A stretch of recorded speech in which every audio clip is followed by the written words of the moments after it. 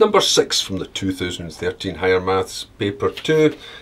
A trigonometrical integration, but not one where you have to evaluate it, it's one where you have the answer and you define one of the initial inputs, one of the limits.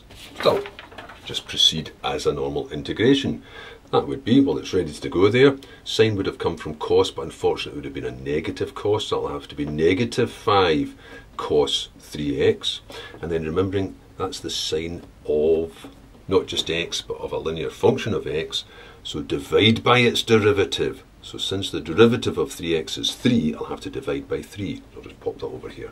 So I've got negative 5 upon 3 cos 3x. There's no point putting in plus c because I'm going to evaluate it twice. I'm going to work it out at a and work it out at 0. Now it's just a case of what will I do with that negative 5 upon 3 when I work it out. And this answer should come to 10 upon 3. That's going to be a common factor in both of these. If I was to write this out, I would have negative 5 thirds of cos of 3a minus negative 5 thirds of cos of 3 times 0. Since the negative 5 is appearing in both of them, it'd probably be handier to keep it out. So I've got negative 5 upon 3 of that minus negative 5 upon 3 of cos of 3 times 0 equaling 10 upon 3. These brackets are getting a bit cumbersome there. The handy thing about taking that out just now is I can immediately just pop that over the other side. Multiply both sides by 3, divide both sides by 5.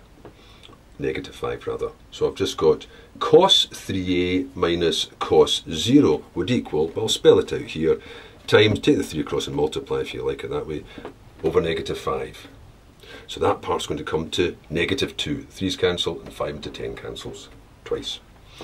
So that means I've got, there should have been implications because I've already got an equal to sign.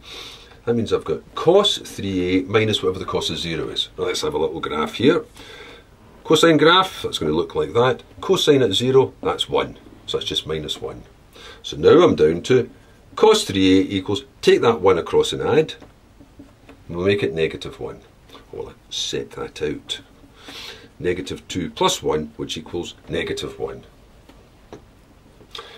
And the last part is, well, negative 1's a point in the graph.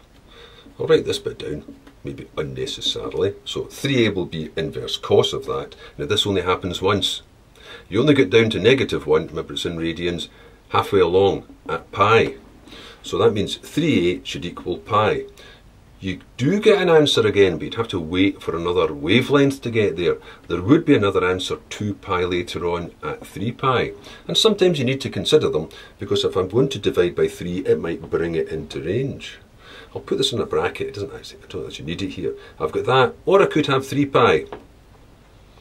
When I divide by 3, I've then got pi upon 3, which is fine, it's inside the range. But if I was to divide that by 3, I'd get pi, and pi's not included because it doesn't have the equal to. So I could have put in bracket or, but maybe I shouldn't, or just pi, but that's not included. So my answer is a equals pi upon 3 only, since a is less than pi.